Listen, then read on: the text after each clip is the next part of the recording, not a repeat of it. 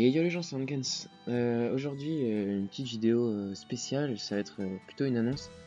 Bon, en fond, je vous ai mis un petit coliséum que j'ai réalisé en compagnie de Simerio, donc qui est un très bon Xelor de mon serveur, un bon ami à moi, qui joue également sur le Zobal dans ce combat. On joue contre une petite team Sakri, Yop et Ni. Donc un joueur de notre serveur qui joue ces trois persos. Et je vous ai choisi cette petite image parce que c'est un colis qui va être assez court et il y aura des gros dommages et je pense que ça sera intéressant pour vous à regarder. Mais euh, je profite surtout de vous mettre cette image en fond pour vous annoncer d'autres choses, c'est-à-dire que j'ai eu des problèmes avec mon ordinateur. Je vous avais prévu euh, une super vidéo pour euh, ce, ce soir vendredi. Je vous avais préparé un gros dossier sur les synergies entre le roublard et le tram. Et euh, malheureusement, euh, j'ai eu des problèmes avec mon PC et j'ai perdu tout ce que j'avais filmé depuis plusieurs mois. Faut savoir que j'ai commencé mes vidéos il y a pas longtemps, euh, mais avant de me lancer, j'ai filmé énormément de choses, j'ai filmé tout ce que, quasiment toutes mes sessions de jeu, et c'est ce qui me permettait de pouvoir vous sortir des, dossiers d'environ 20 minutes avec beaucoup de contenu, beaucoup de, contenu intéressant. Et donc là, pour vous préparer la vidéo de ce vendredi sur le SRAM, il y avait des vidéos que j'avais filmées durant plusieurs mois avec euh, plein de choses intéressantes pour illustrer euh, tous les aspects théoriques que vous pouvez retrouver d'habitude dans mes vidéos. Et donc je suis extrêmement déçu parce que la vidéo euh, était prête et j'ai tout perdu. Donc je recommence petit à petit à filmer, mais il faut savoir que pour les quelques semaines qui vont venir, je vais avoir beaucoup moins de contenu. Donc les vidéos seront sûrement plus courtes et j'aurai moins d'images. Donc je m'excuse déjà par rapport à ça. Et donc du coup j'en profite pour vous demander votre avis par rapport à ça. Est-ce que ça vous intéresse que je parte sur une série euh, sur les synergies avec un roublard? C'est une question qu'on retrouve souvent dans les commentaires des vidéos YouTube ou sur les forums. Quelle classe jouer avec mon roublard? Ou est-ce qu'un roublard serait bien dans ma team? Et euh, bah, je voulais vous parler des classes avec lesquelles j'aime bien jouer, avec lesquelles je trouve qu'il y a des synergies intéressantes.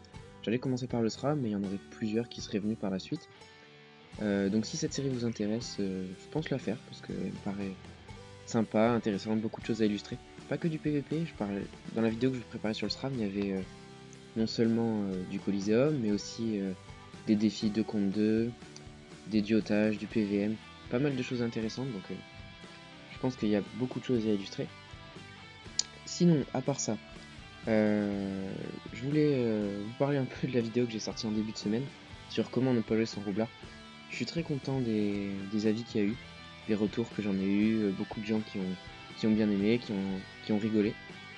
Euh, donc ça me fait très plaisir. euh, quelques commentaires, vous vous êtes pas tous compris, certains n'ont pas compris que c'était du second degré, mais en tout cas euh, c'était bien drôle et peut-être que j'en referai ce genre de vidéo un peu troll. Le but de cette vidéo c'était avant tout de vous faire rire, mais aussi de vous faire réaliser que le roublard, je trouve que c'est pas exactement une classe comme les autres et c'est bien d'avoir un peu d'aide quand on débute parce que c'est pas quelque chose qui s'apprend comme ça. Il y a beaucoup de choses qui sont pas forcément évidentes, euh, qu'ils sont peut-être pour les vieux joueurs, euh, ceux qui jouent au roublard depuis longtemps parmi vous, mais euh, pour les nouveaux, il faut savoir que il y a quand même beaucoup de choses qui sont compliquées. On me pose des questions tous les jours. Est-ce que, je sais pas moi, les dommages fixes ça influe sur les bombes ou est-ce que est-ce que c'est important d'avoir de la PO, de la fuite? C'est des questions qui reviennent souvent. Et donc voilà, c'était le genre de truc que je voulais plus ou moins mettre au clair si j'ai pu en illustrer quelques-uns de manière amusante. Euh, je pense que vous avez aussi remarqué que j'ai une nouvelle bannière, une nouvelle photo de profil sur ma chaîne euh, YouTube. Euh, pour ça, je voulais remercier Apils qui m'a rendu ce coup de main de manière très sympa, qui est un de mes kills de sur Jill Smith.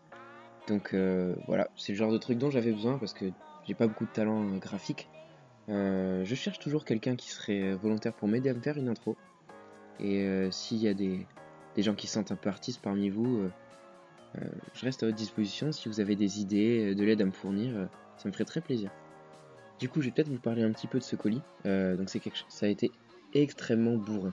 Vous avez vu que c'est une toute petite map, donc nos adversaires ont rush. En, en fait, le Sacri a coop tour 2 et on, a un Xelor qui joue juste après, donc il a ramené dans notre camp, il m'a ramené dans notre camp, et donc on a eu droit à un gros rush. Vous avez vu que tour 2, j'ai pris une zone tromblon, tour 3, une autre zone tromblon. Donc là, nos trois adversaires sont complètement érodés. Et là, vous pouvez voir une super synchro de Simerio sur trois adversaires érodés qui va faire euh, environ du 6000, je crois, si on additionne tous les dommages. Donc, euh, du gros n'importe quoi. Là, vous allez pouvoir voir que l'ennemi va essayer de, refull sa team et pour nous c'est plutôt bien parce qu'on va pouvoir refaire des dommages dessus. Donc euh, un colis assez amusant. Vous allez voir que ça se très très vite et des gros dommages dans tous les sens. Vraiment le genre de colis qu'on aime bien.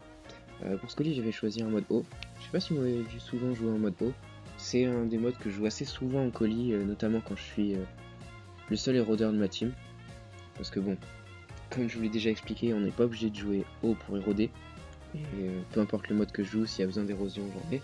Mais quand je sais que la map est petite, qu'il va falloir éroder quasiment tous les tours, souvent je mets ce mode, sachant que c'est un mode très très bourrin qui rock vraiment pas mal. Donc là, vous pouvez voir que le Yop euh, place sa colère de Yop sur notre Zobal. Euh, faut savoir qu'on l'avait plus ou moins prévu, c'est-à-dire que le Zobal est allé le tacler exprès. le but c'était que les adversaires bougent pas trop parce que c'est mon tour 4. Et vous allez voir que tour 4, les gros dommages vont être encore au rendez-vous.